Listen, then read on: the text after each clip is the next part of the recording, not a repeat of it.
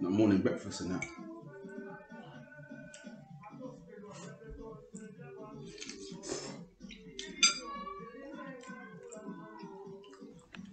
You look like you're enjoying this food, you know. Or early morning. Spaghetti. Ay, yeah.